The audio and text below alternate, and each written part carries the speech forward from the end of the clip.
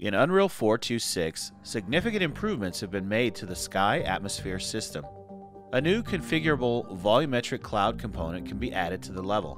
The clouds are built using volume textures and materials and are dynamically affected by the sky atmosphere, skylight, and up to two directional lights. Clouds can cast volumetric shadows on meshes as well as the sky atmosphere, providing highly accurate, realistic, or stylized skies and clouds. Unreal provides full artistic control of volumetric clouds, allowing artists to build cloud profiles using curves, blueprint based cloud masks, and even paint clouds into the atmosphere. And clouds can be built to simulate weather effects such as lightning strikes with dynamic lighting. On top of the new volumetric cloud system, the skylight can now be recaptured in real time on the GPU.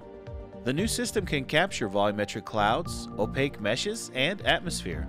This provides consistent and performant dynamic lighting changes.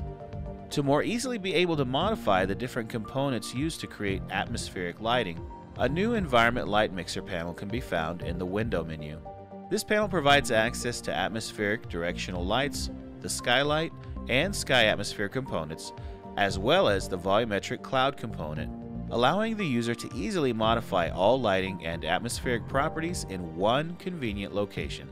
These new atmosphere and lighting features will enable content authors to render both realistic and stylized scenes with dynamic time of day based atmospheric lighting effects and provide creators with full artistic freedom to create any world they can dream up.